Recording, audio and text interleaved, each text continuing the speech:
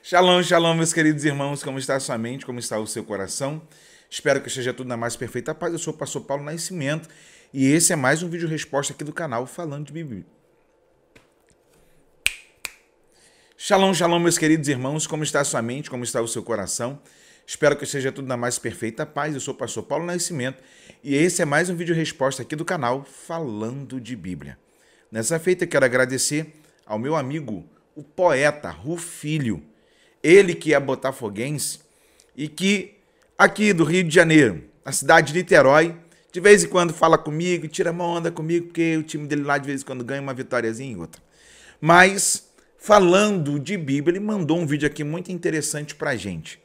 Rubem, que já foi da tradição católica e que sempre é, manteve contato com seus irmãos da sua antiga religião, recebeu um vídeo e me enviou. E algo muito curioso nos deixou alarmado aqui. E eu quero compartilhar com você através da liderança do seu maior, que é o Papa. Dá uma olhadinha. É racismo, tu que opinas?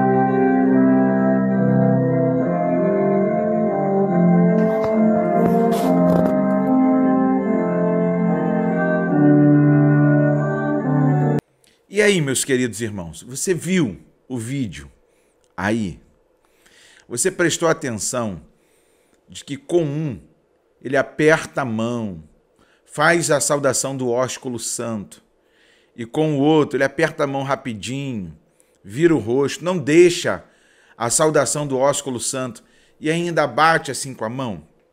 Estaria ele fazendo acepção de pessoas ali, dentre as suas, os seus liderados, alguém por ter uma cor de pele negra?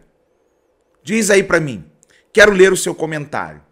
Porque falando-se de Bíblia, Atos dos Apóstolos, capítulo de número 10, versículo de número 34, diz assim: E abrindo Pedro a boca, disse: Reconheço por verdade que Deus não faz acepção de pessoas. Deus não faz, mas os homens fazem.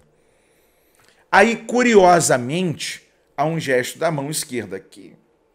E ele, apesar de apertar a mão, não permite a saudação que é corriqueira, que é natural entre eles, o ósculo santo.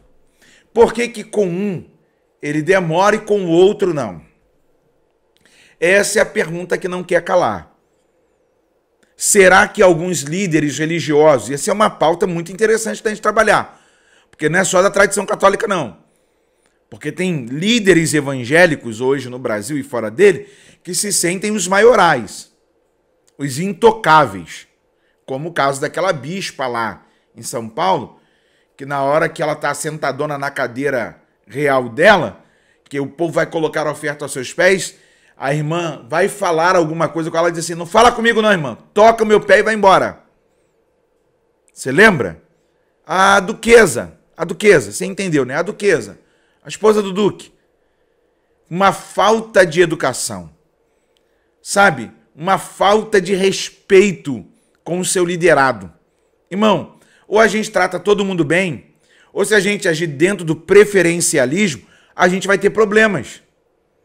Porque, como líderes religiosos, nós não podemos ter é, time, panelinha, grupinho, a questão do preferencialismo na igreja. Ou você trata todo mundo igual, você não vai tratar igual, irmão, entrega a carteirinha e mete o pé.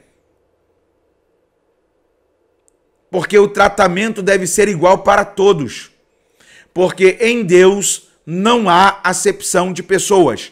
Atos 10, versículo de número 34. Porque Pedro disse: Reconheço que Deus não faz acepção de pessoas.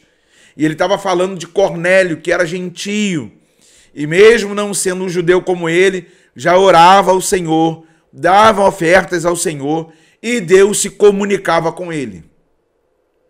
E aí, para você, houve um apelativo ali disfarçado de racismo ou a gente está enxergando coisa?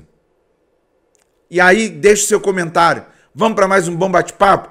Manda esse vídeo aí para o grupo de ensino lá da sua igreja, onde vocês discutem, porque é inadmissível que em pleno século XXI ainda haja racismo religioso. Ok? Deus abençoe a sua vida. Vamos juntos para mais um bom bate-papo, porque daqui nós seguimos a pauta. Beijão no seu coração, Rufilho, falando de Bíblia. Você que quer ser um parceiro ou continuar sendo um parceiro para deixar esse programa no ar por mais dias, por mais tempo, doando uma oferta, tem o QR Code na tela, tem o doar para fb@gmail.com. Você escolhe a forma aí, deixa Deus te usar.